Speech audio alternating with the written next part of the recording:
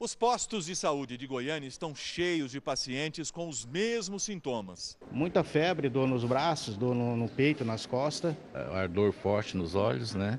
E às vezes agora sentindo, agora mais no final, sentindo vômito também. Robson, que já teve dengue quatro vezes, está preocupado. Pelo boato que está surgindo né, os noticiários aí comentando, a gente sempre fica com medo de ser outra coisa mais grave. Né? Dengue e gripe provocam febre, dor no corpo, mal-estar e falta de apetite.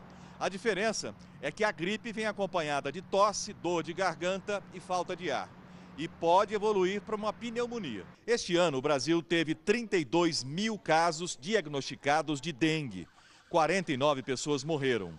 No mesmo período, o Ministério da Saúde foi notificado de 286 casos de gripe B, H1N1 e H3N2. 28 pessoas morreram, nove delas em Goiás. Por isso, o Estado decidiu antecipar a campanha de vacinação. Além de vacinar, é importante também identificar a doença corretamente. Este médico explica que os tratamentos de gripe e de dengue são completamente diferentes. A dengue, basicamente, são medidas de suporte. Na maioria das vezes, nós vamos estar preocupando com hidratação do paciente. Na gripe, se o quadro for mais grave, rigorosamente estaremos usando antiviral contra o influenza.